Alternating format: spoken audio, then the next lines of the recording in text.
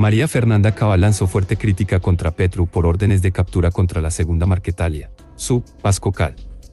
La senadora del Centro Democrático insinuó que el presidente Gustavo Petro está empecinado con lograr la libertad de criminales. Todo está listo para que el gobierno de Gustavo Petro instale la mesa de negociaciones con miembros de la segunda Marquetalia, comandada por Iván Márquez, que participó y firmó la paz en 2016, pero reincidió en sus actividades criminales.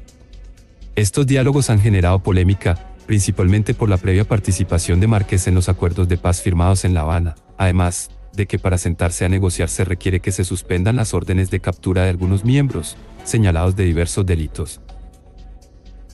En ese contexto, se pronunció la senadora del Centro Democrático María Fernanda Cabal, que no ha visto con buenos ojos la determinación, mientras el país sufre una ola de violencia, especialmente contra funcionarios del INPEC. La senadora enfatizó en que el presidente Petro prioriza la libertad de los criminales, en vez de lograr la verdadera paz en Colombia. Además criticó la resolución en la que se realiza la solicitud formal del levantamiento de las órdenes de captura contra tres miembros de las disidencias, Diego Fernando Guerrero Segura, María Lisset Moreno Cantillo y Yuarniza Romero. Petro y su Pascocal, hoy solicitando mediante una resolución, la No 145 del 14 de mayo de 2024 que se suspendan las órdenes de captura con terroristas de las FARC de Iván Márquez. La preocupación de Petro no es con la paz de Colombia sino con la libertad para los criminales. SIC, fueron las palabras de la senadora del Centro Democrático, vía X.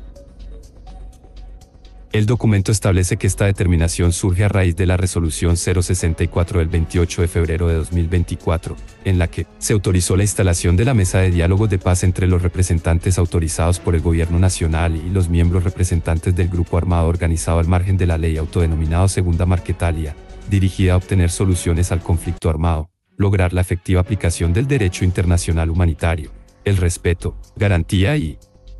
protección a los derechos humanos el cese de afectaciones a la sociedad civil y el pacto de acuerdos de paz tendientes a facilitar el desarme y la desmovilización del grupo armado en mención, puntualiza la mencionada resolución. El levantamiento de órdenes de captura contra los tres miembros de la segunda Marquetalia se sumarán a otros nueve miembros que conformarán el equipo negociador por parte de la mencionada guerrilla. Estos son José Aldinever Sierra, José Vicente Lesmes, William Danilo Malaver, Alberto Cruz Lobo, Giovanni Andrés Rojas, Luis André Figueroa, Allende Perilla, José Darly Malagón y Henry Quiñones, a quienes el mes pasado la fiscal general, Luz Adriana Camargo. Negociaciones entre Segunda Marquetalia y Gobierno Nacional están en vilo por demanda de nulidad. La Fundación para el Estado de Derecho, FEDE, demandó la norma que otorga estatus político al grupo guerrillero Segunda Marquetalia de las disidencias de las FARC, debido a que presentaría serias incongruencias que no serían legítimas de cara a los acuerdos de paz de 2016.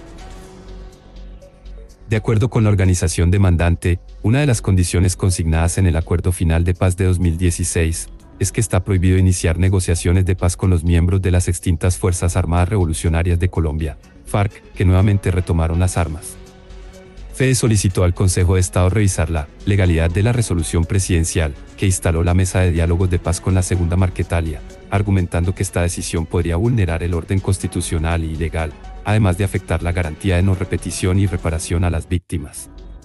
La demanda, interpuesta formalmente el 19 de marzo, fue admitida por el Consejo de Estado, que analizará los argumentos de la organización demandante y decidirán si efectivamente esta mesa de negociación ha de portas a instalarse, no salta la norma constitucional.